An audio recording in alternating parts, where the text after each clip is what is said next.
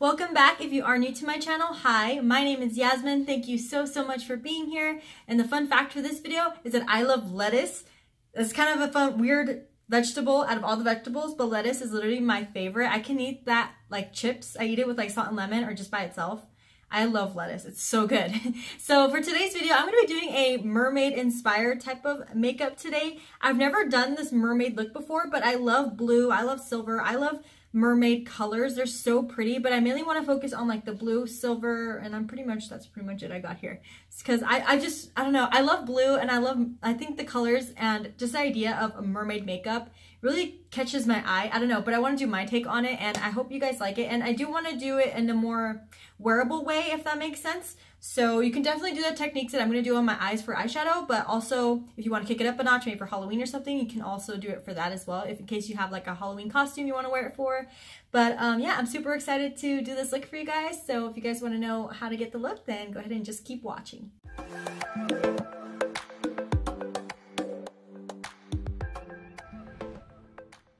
The first thing I'll be doing is adding tape to my eyes because I am going to add a wing liner to this look. And I already have my hair all crazy, done my skincare, eyebrows on, my eyes are primed and ready for eyeshadow, but I can't do that unless I have my tape on. So I'm going to do that really quick. Again, if you do not need to do this, if you already know how to do a wing liner. So I'm going to put this on and I'll back. Alright, so I have my tape on my eyeball. So I'm going to go in first. I'm, again, I'm going to use a couple of palettes to achieve this look. So please don't be mad at me, but I'm going to go in with my Morphe 35V palette, and I'm going to go into one of the nude shades that I use a lot um, for my eyes, and I'm going to go in with the shade Scandal, which is right there, and I'm going to, sorry about the sun, it's peeking through pretty good right now. I'm filming a little later than usual, and the sun's usually never this strong. But anyways, I'm just going to go ahead and put that all over my lid and crease area. Now with a different blender brush, I'm going to grab this Alamar Cosmetics blending brush. It's pretty fluffy. And I'm actually going to go into my Lunar Beauty palette, palette, and I'm going to go in with the shade Kiki. I think that's what it is. Kiki? Yep. Right in here. It's a really bright blue. Like it's, it's like a minty blue. So I'm just going to add that to my crease. I'm going to pack this on my brush and start swiping that into my crease.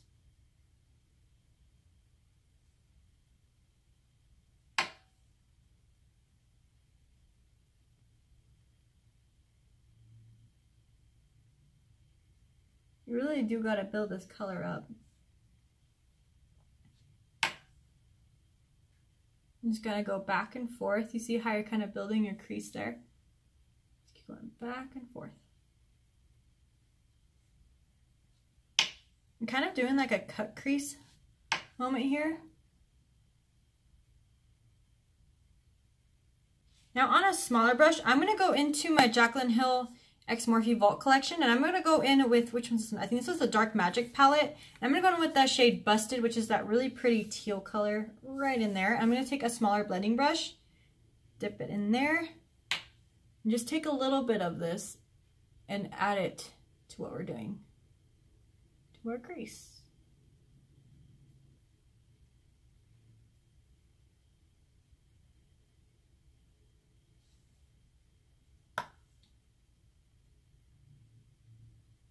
So I started looking at what shade I wanted to put on my eyelid and I'm kind of stuck between two. So I have the L'Oreal Paris um, single eyeshadows and I have two colors. These are so amazing. I love this. These, oh, other way.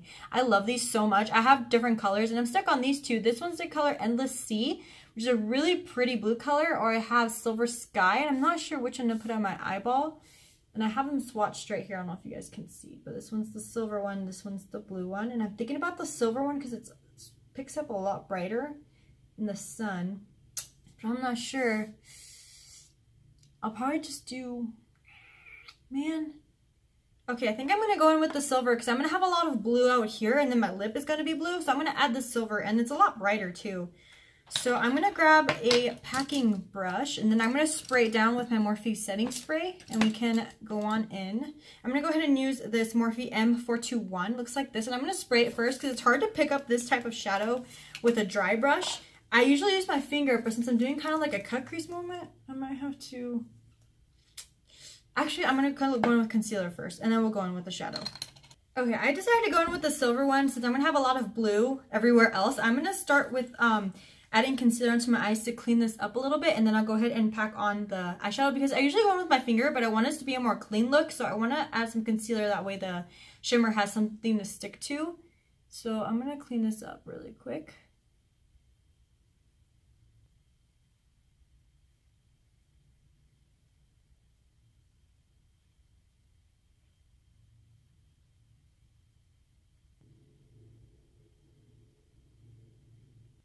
Okay, now that I got the concealer on there, I'm going to go in with another with a clean flat brush and I'm going to spray it down first.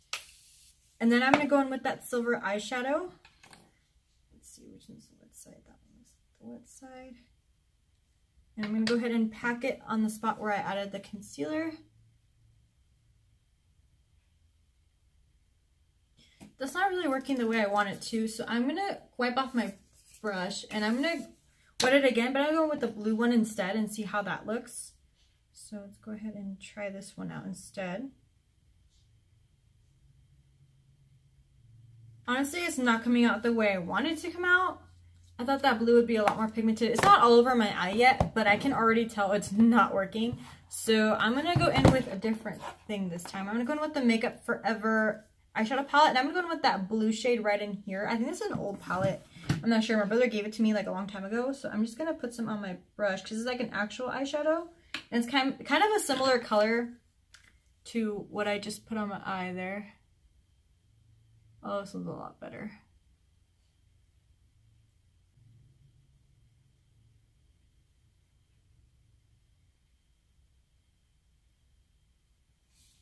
Okay, now that I got that, I'm going to carefully uh, go in with like this pencil brush and go back into that Jaclyn Hill palette with the shade Busted. And I'm just going to grab a little bit onto this pencil brush and carefully go over the cut crease just to define it a little more. Now that that's on there, I'm going to go in with this white liquid liner from NYX. It's just their colored felt tip liner, and I'm going to use the shade white instead of a black wing liner. I think white is more like mermaidy, if that makes sense. So, that was rude. I'm to add this on and I'll be right back. Okay, so this is pretty much just the eyeshadow. So just those couple colors and white liner and it's kind of like a cut crease moment, so it's not too bad. So um, I'm to go ahead and start with my face now, and as you guys know, I haven't used primer in a while, so I'm not to go ahead and use primer. But I am to use my normal foundation and concealer, just a Maybelline 24 Hour Concealer and my Tarte uh, Concealer Foundation and my Tarte Shape Tape Concealer.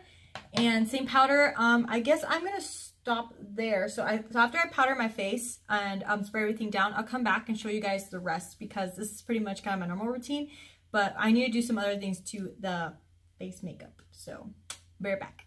Okay, one pro tip you have to be very careful when you're doing your concealer around your eyes. Foundation, I didn't get too high up there. I did do my regular concealer, but I made sure not to go too far out because if I would have messed up, this is supposed to be a sharp line and that would have messed it up. But I did go in with like a brush like this with concealer on it. I just kind of kind of added the concealer myself and then I blended some of it out with my finger. But just letting you know, we got to be very, very careful with that. And okay, so I already have my foundation, powder, concealer, everything. And um, I'm just missing like bronzer and things like that, but I don't need that right now. So I think I'm going to finish my lower lash line first. I'm not going to go with mascara or lashes yet. I'm thinking I'm going to do that last, but right now I'm going to finish my lower lash line. So I'm going to grab a flat sm smudge brush here, and I'm going to go back into my Lunar Beauty palette and go on with that shade that we first put on, which was Kiki, and just add some onto the brush. I'm going to smudge that under there. Then I'm going to go in back, back in with my Jaclyn Hill palette and go in with that main shade, the Busted shade. Put that underneath there as well. And then I'm take another clean um, smudge brush. It's This one has less hairs than the other ones. I'm going to go in with that transition shade from the Morphe 35B, which was Scandal. And I'm going to take some of that and kind of blend this out a little bit. Then I'm going to go in with that L'Oreal Paris um, eyeshadow that we wanted to go in with at first, but it didn't work out. This one's in the shade, what is it? Silver Sky. And I'm just going to use my pinky and use it as my inner corner highlight.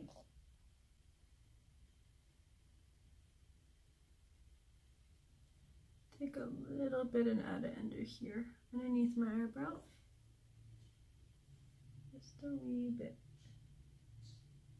Now I'm going to take the L'Oreal Paris eyeliner and water, water, line my lower, my waterline. I think I'm looking kind of spooky now, kind of Halloweenish. So that's great. So um, I'm going to go in and do like the mermaid scales now. And I'm very nervous about this This can be hit or miss because I've never done this before. I should have practiced before I did this, but I'm not going to. So I'm just going to go for it. So all you need is some fishnet type of leggings or some mitt or something. I'm going to go ahead and use these leggings and I can stretch them out so I can make it to whatever size. So I'm going to open this up. You could just get them like at Walmart or wherever. It really doesn't matter. So I'm going to go ahead and open it up. All right, you want to be very careful. I know this looks odd.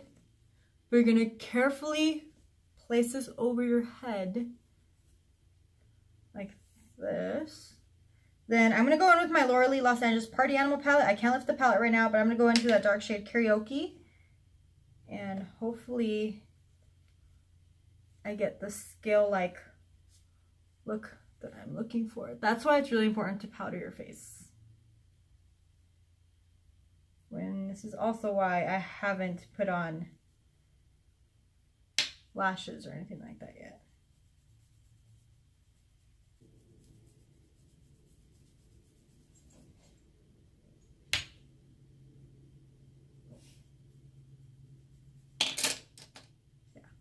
Now with the same brush, I'm just going to clean it off really quick. And I'm going to go in with the next shade over called Damage Control, which is a lighter blue color. And I'm just going to go in.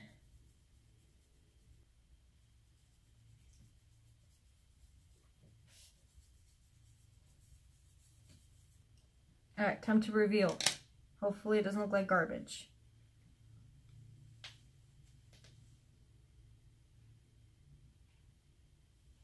Cool. I kind of want to add more now, but now I can't. All right then, not too bad. To cover these other areas, I'm gonna go ahead and add a little bit of glitter. Um, I'm not sure. I'll probably just add this blue glitter because I have blue and I have silver. Probably just gonna add the blue glitter and I'm gonna go in with this NC Mineral Cosmetics Mineral Glitter in the shade Ocean. I honestly don't feel like I have to use a glitter glue because glitter sticks to everything, but I might just have to. So I'll probably just go in with this glitter glue. It's also from the same brand, the Mineral Cosmetics, and I'm going to go ahead and put some on my brush. Then I'm going to go in with, it's a really pointy, small little brush. I'm going to go in and pick up the glitter, add some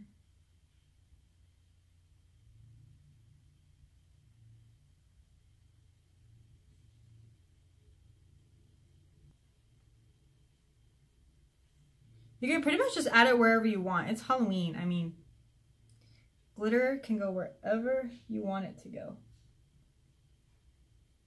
Okay, before I keep going with adding all this glitter, I'm going to go ahead and finish up my eyes. So I'm going to add my mascara, which is the L'Oreal Lash Paradise Mascara. And I'm also going to add some lashes. And I'm going to use my Ardell Wispy lashes because I love how wispy and pretty they are. So I'm going to add those really quick. And then I have one more thing to add to this and then the lip. And then I'll be right back. Also for, forgot to mention that with the glitter, um, I was using a brush, but then I kind of got over it and I was just getting kind of lazy. So I started using my finger and I kind of like the messy look that it gave me. I still need to add a little more glitter in different spots, but um, I'm going to put on some lashes now. And I think I'm going to add the lip right after it, well, while my lashes are drying. And I'm going to go in with the um, Wet n Wild Mega Last Liquid Catsuit in the shade, the shade is teal. And I think once I have that and my last finishing touch and my hair, I think it's gonna it's gonna work out. So I'll be right back. Okay, I think it just started coming along. It came along once I put the lipstick on, so I feel pretty good about that. So I'm gonna add some uh, gems. I don't know if I wanna do one on each one or a big one and a small one. I probably would add a big one and a smaller one right there. So I'm gonna go ahead and grab, oops, let me put my glitter back in the cap. Well, actually I might need this. I'm gonna put it on the side. I'm gonna go ahead and grab my glitter glue or my eyelash glue. I'll grab my glitter glue and I'm going to go ahead and grab one of the little gems. I'm probably just going to grab maybe like these two right here, the big one and then the small one. Probably those two just on top of each other right there and I'll show you what it looks like right after that. So usually with gems, it would be better for you to use like eyelash glue and then like put it somewhere, let it get tacky, add your jewels with the glue and then glue it on your face. That way it stays on there longer. But I just went ahead and just used my glitter glue only because I don't have to worry about it lasting all night, but you guys might. So um, I think I'm going to add a little more glitter throughout my forehead and then I'm going to go ahead and curl my hair. So when I think of mermaid, I think really big voluminous curls. So I'm going to go ahead and curl my hair and then add some volumizing dry shampoo and make it really voluminous and cool. And then we will come back to end the video. Alright guys, so that brings us to the end of this makeup look. Let me know what you guys thought down below, if you guys liked it, if you didn't like it.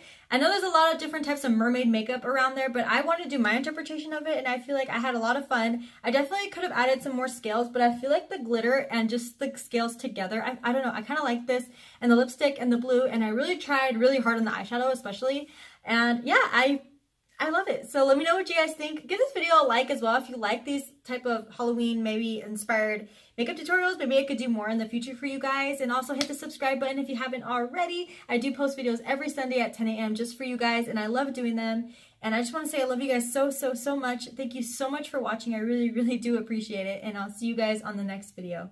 Bye!